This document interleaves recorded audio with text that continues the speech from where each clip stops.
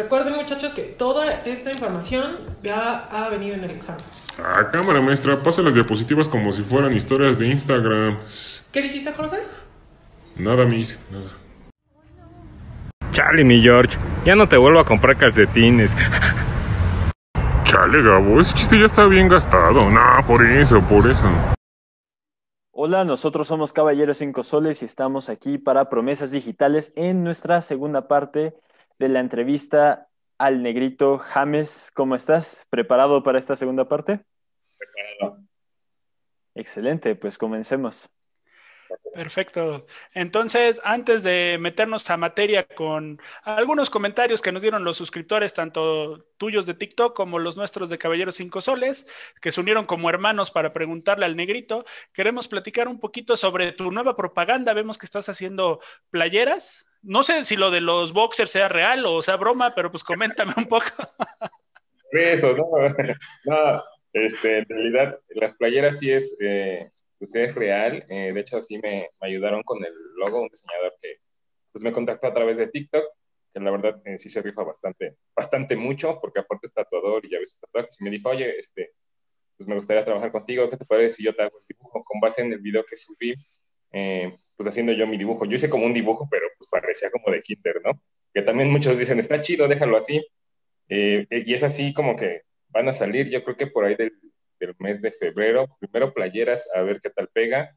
Y si vemos que pues iba jalando, pues igual sacaremos otro producto. Lo de los boxers en realidad fue mamada porque un, seguidor me comentó, yo lo quiero pero en truza, ¿no? Porque así me puse. Entonces dije, ah, bueno, voy a agarrar la, la, cara que hice y se la voy a montar ahí a, unas truzas que me encontré, que bajé de internet. Dije, lo voy a subir para decir que sí, pero no, eso, eso sí es mamada, eso, eso no es cierto. Excelente, excelente. ¿Y qué otras oportunidades has tenido en este sentido de gente que se acerca a ti para decir, eh, en este caso, lo de las playeras de yo te diseño el logo, las vendemos? ¿Alguna otra oportunidad has tenido en ese sentido? Este, pues de hecho, ayer me, apenas ayer me llegaron eh, sudaderas por parte de una persona que tiene su marca de ropa, que de hecho traigo puesta ahorita una de esas. Y pues igual, o sea, fue como que, oye, te puedo mandar producto para que, este, pues para que me ayudes a promocionarlo, igual y te lo mando, con que te lo, te lo pongas, este, igual si me quieres mencionar está bien, si no, no.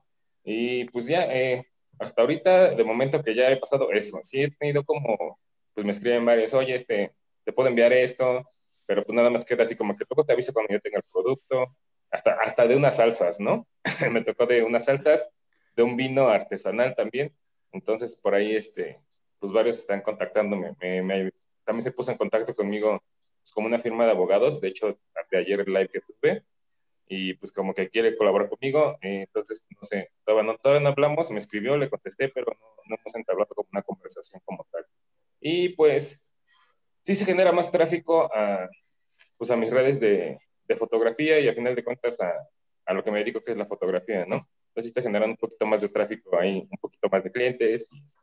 Básicamente pues, sería como todo lo que de momento se está, se está generando. Bastante bien. Excelente, yo digo que, que, vas por muy, muy buen camino. Ahora sí, vamos a entrar un poquito en materia con los comentarios. ¿Estás listo? Porque pues hay de todo un poco, ¿no? dale, dale. Va que va. A ver, tenemos el primero. Obviamente quisieron que fueran anónimos. Desgraciadamente, pues así tendrá que ser. Tú nos vas comentando qué, quieres realizar sobre esos disque comentarios importantes, porque llegamos con uno que dice: ¿El negrito nació pelón o fue quedándose pelón?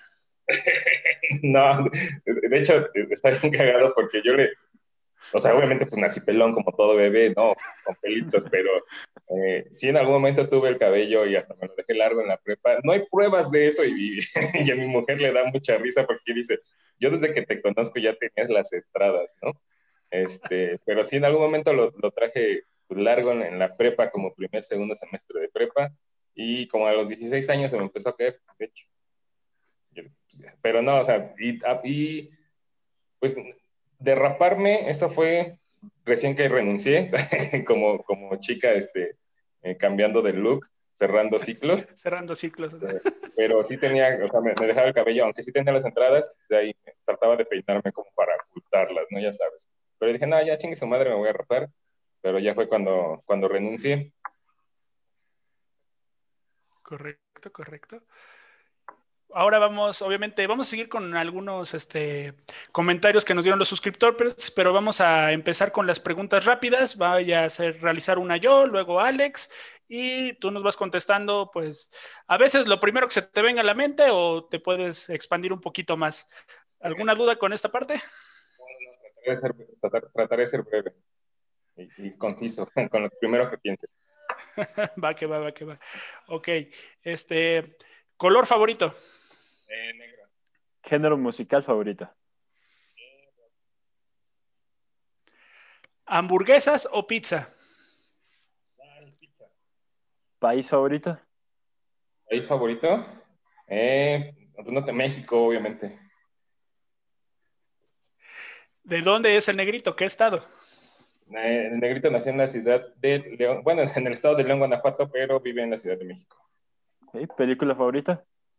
Me Volver al futuro, las puedo ver las veces que sean, en el idioma que sean, y me las sé y todos los diálogos. Correcto. Dice, una suscriptora dijo que obviamente quería permanecer anónima. Negrito, ¿cuántos hijos tienes? ¿Quieres uno más?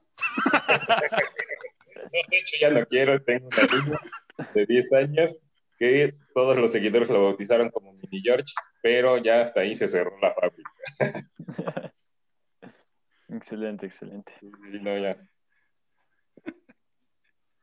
Correcto, correcto. Ahora, platícanos un poco más sobre, ya evitando las preguntas rápidas, este, ¿cómo crees que sea a futuro, ya terminando la pandemia, este, tu red social de TikTok, ¿crees que disminuya, que haya menos visitas o, que continúe todo igual? Nunca, nunca me había puesto a pensar esto. Eh, la verdad, pues espero que, sigamos creciendo. Y bueno, considero que una vez que ya te envicias con el TikTok, pues no es como que lo dejes de, de usar, ¿no? Como todas las redes sociales, igual no habrá, ya habrá como horarios más específicos para para las publicaciones, como por ejemplo, pues ya que todos están en sus casas, como en horarios de comida, etcétera, que, que, la, gente anda más con su celular. Pero pues no, mm, espero que no baje, o igual, y si baja, eh, pues yo considero que será como mientras sus ocupaciones se, no les permitan interactuar, ¿no? Pero considero que, pues, que sí seguirá la interacción y espero que así sea, ¿no? Y que sigamos creciendo. Ok. También nos contaste que todo este tema de estar en TikTok, en redes sociales más activo, eh, le ha dado más flujo a tu cuenta de mm, fotógrafo y cuéntanos un poco más de tu trabajo como fotógrafo. ¿Qué es lo que haces? ¿En qué te enfocas? Eh, me enfoco particularmente en fotografía de retrato y pues bueno, como más este, ¿cómo se podría decir? Como más personales, te digo, o sea, Obviamente sale trabajo de todo. A mí me gusta mucho la fotografía de retrato y sí tengo varios cursos y varias certificaciones de, bueno, como constancias de que he estado en cursos de esta, de de retrato. Pero pues obviamente también pues, uno necesita chambear y pues anda también en eventos, haciendo fotografías corporativas para empresas. Entonces, pues más o menos eso es en lo que me enfoco. Y también por la parte de, de community managers que manejo por ahí algunas redes sociales para algunos restaurantes y pues luego salen así como, pues cotízame cuánto me cobras para, por ejemplo, una marca de ropa que ahorita está como en veremos, ¿no? Y así, así básicamente cagado porque yo soy ingeniero industrial, de hecho. ok. Correcto. Eso, eso me lleva a una pregunta interesante. ¿Tú cómo cambiaste? Me estás diciendo que pues, eras ingeniero. ¿Cómo decidiste que fotografía era pues más, más acorde a ti o te gustó más, te llamó la atención? ¿Cómo fue ese cambio? Eh, pues el cambio como tal se dio en mi último trabajo. Eh, la verdad es que tenía bastante tiempo libre, ¿no? En realidad mis funciones como tal no era como que no cumplía con el trabajo, tenía mis objetivos, los cumplía y pues sí como que tenía bastante tiempo libre porque sí te hacían cubrir un horario como forzoso de 10 horas y media en oficina con checar y todo esto. Y pues en este tiempo libre yo empecé como pues a bajar este, aplicaciones de, edición, empecé como así con las fotitos que tenía, pues a editarlas, hacerles montajes, etcétera. Dije, ahora bueno, voy a empezar a tomar fotos, voy a empezar a ver como videos de, pues, de esto, ¿no? Como de manera autodidacta empecé aprendiendo esto.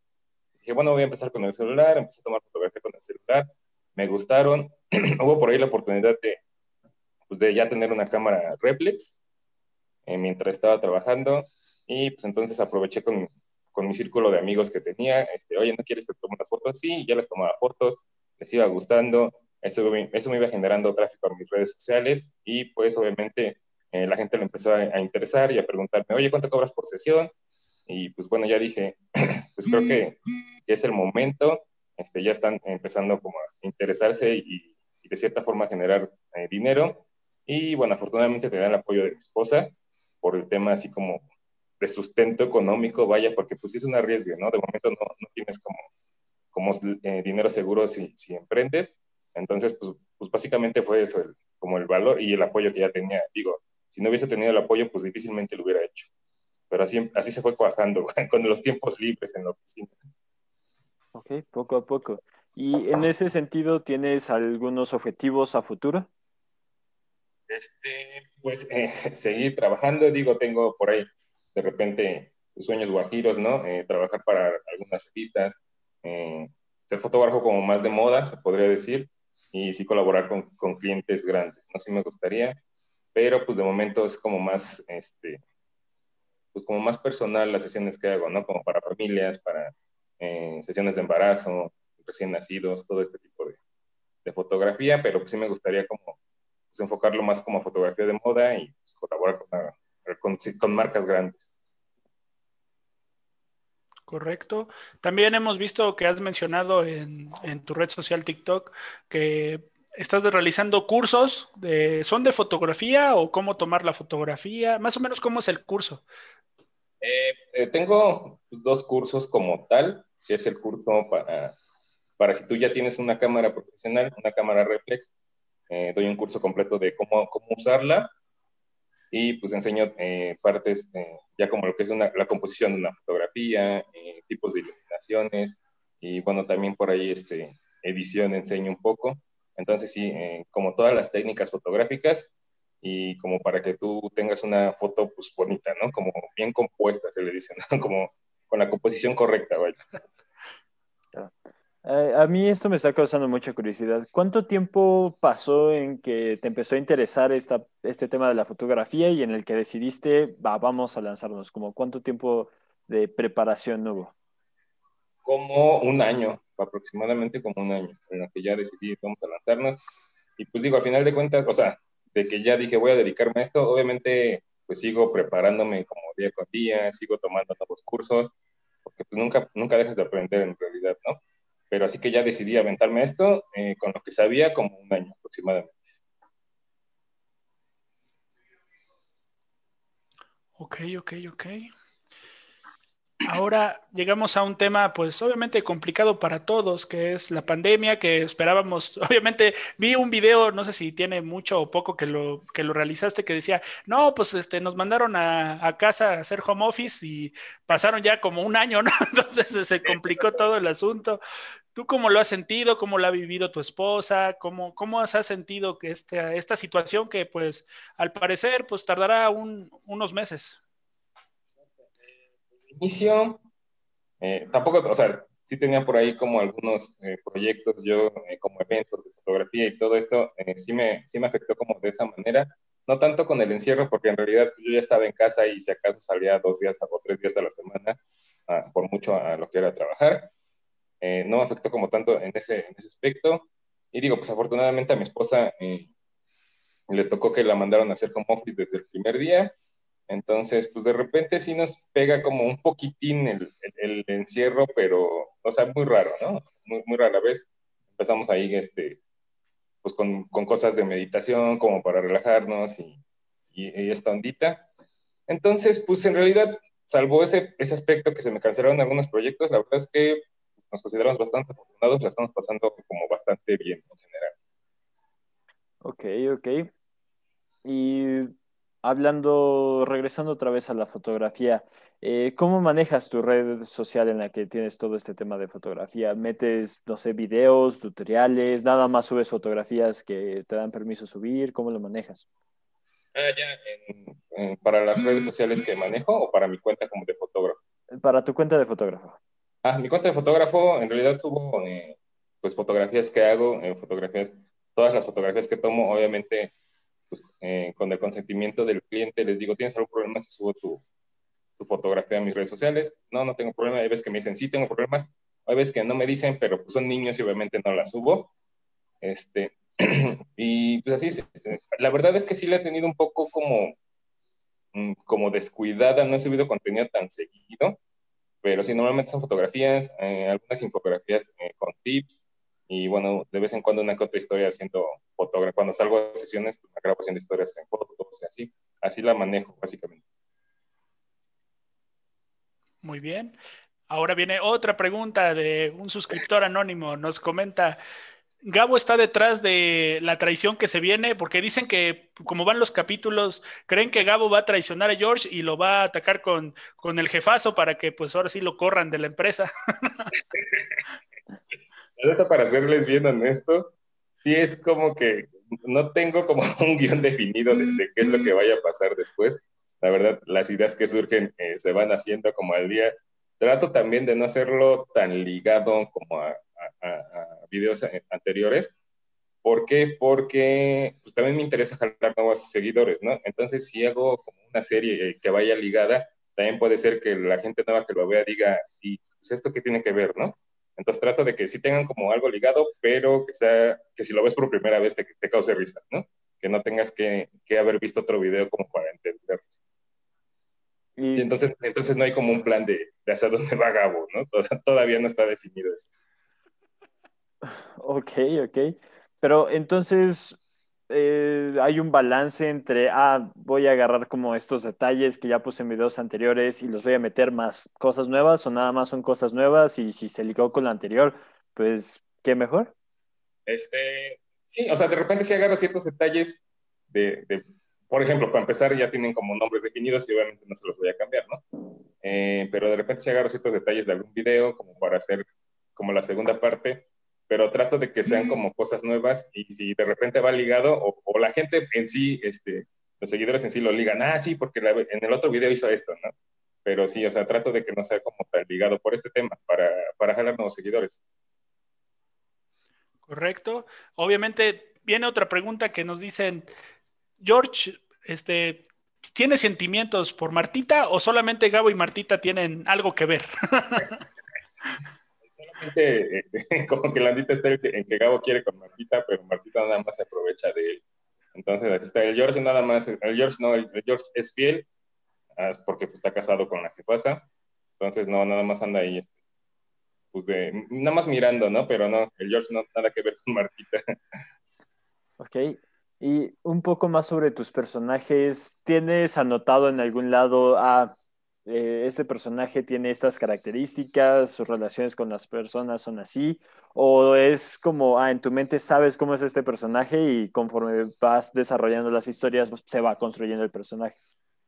Eh, sí, más bien es así, eh, no tengo como anotado como tal, como, como el comportamiento de cada personaje, sí es como, lo tengo todo en mi cabeza, es como, sí tiene como cierta personalidad del Gabo y sí lo trato de manejar así como que sea constante, eh, lo, que es el, lo que es el George, en realidad es bien cagado porque sí soy, sí soy yo, ¿sabes? Sí es como parte de mi personalidad, pero pues obviamente ya un poco exagerado, pero sí, así soy yo, entonces es como, con eso no tengo mucho tema porque en realidad soy yo y sí llegué a contestarle hacia jefes y sí llegaba primero como a pensar, este, pues sí pensas cosas malas y les dices, eres como que no quiero que me corran, me voy a hacer un poco sumiso. Y pues por ejemplo, sí, eh, con, con, este otro personaje que, que, le hace como de un poquito, que le tira la onda al George, que es hombre, también ya está como bien definido que, que pues nada más sale como en, ese, en esa ondita de tirándole la ondita a George. Y, pero sí, sí, no es como que tenga escritas sus personalidades, más que nada las tengo como pues, en la cabeza y, y pues se va definiendo conforme van pasando los videos, se va como definiendo un poco más. También hemos visto que pues el apoyo en los comentarios, ¿no? Ya que dejan como la continuación o lo que esperan que tú les contestes con algún personaje, pues da mucha la interacción, ¿no? Con, tus suscriptores. Exacto, sí, es, sí, está también como padre, ¿no? Porque de repente, pues, o sea, sí está medio, ¿cómo decirlo? Sí es como medio celoso TikTok, entonces si, si quieres como seguir generando tráfico, tienes que crear contenido seguido. Eh, yo tengo mi meta como de mínimo cinco videos al día, los fines de semana igual puede ser un poco menos dependiendo, pero mínimo cinco videos al día, ¿no? Entonces, pues de repente por ahí eh, sí busco sacar como yo los de mi propia creatividad y de repente me gustan algunos comentarios y eso los hago también video. Entonces como que ayudan mucho a que, a que siga todo ese tráfico, a que se genere más contenido, eh, la interacción que tenemos, eh, pues ahora sí que entre todos, ¿no? Si me gusta un comentario, ya lo veo, lo hago video, es, está como padre esa, esa, esa interacción. Eh, yo tengo duda. ¿En algún momento te viste como llegando a este momento donde tienes varios personajes, toda la interacción con las personas, la cantidad de seguidores que tienes? O sea, en el primer video que hiciste, ¿te viste llegando a todo esto o nada más fue como, pues lo subo y a ver qué sale? No, la verdad sí fue así como lo subo y a ver qué sale. Eh, sí dije, ay, pues, o sea, estaría padre como, pero lo, lo hacía más como cuando en mi cuenta de fotografía de Instagram, sí era como la tirada de repente, es como, sí quiero llegar a bastantes seguidores para que vean mis fotos y pagaba publicidades y este tema. Pero ya esto de, de TikTok sí fue así como que pues lo voy a subir, está cagado, a mí me gusta, y pues bueno, si le gusta a la demás gente está, está padre, ¿no? Este, y pues no, no, nunca, nunca me imaginé, digo, hay veces que, que no me la creo, ¿no? Que digo, pues bueno, o sea, siento que es como una comunidad que somos como cuates todos y nos escribimos y, y veo sus comentarios y luego pues está bien cagado porque yo hago los videos y me gusta mucho leer los comentarios porque también son bien cagados los, los seguidores, ¿no? De ahí saco bastantes ideas y me cago de risa con, con algunos comentarios. Entonces, pero no, no, nunca fue como mi tirada con esto de, de, de la comedia hacer o de las parodias, este, pues llegar así como eh, tan rápido pues, eh, a, a tantos seguidores, ¿no? Correcto, correcto. Ha sido una plática bastante interesante. La verdad, esperamos más adelante volver a platicar contigo, realizar pues alguna otra actividad. Cuéntanos en qué redes sociales te pueden seguir, aparte de obviamente la del negrito en TikTok, ¿en cuáles más estás? Estoy eh, solamente en TikTok y pues en Instagram, que estoy como James el Negro, eh, el último es un cero en vez de una O por aquello de lo, del band racista. Y bueno, en mi otro Instagram, que es el de fotografía, estoy como James Bueno Foto, foto en inglés, PH. Entonces, eh, son las únicas que son pues, las que tengo. En este momento tengo, bueno, sí tengo Twitter, pero pues, en realidad solo lo uso para ver tendencias. No, okay. no publico nada ahí. Excelente. Pues muchas gracias por estar aquí, muchas gracias por contarnos un poco más sobre ti, sobre lo que haces.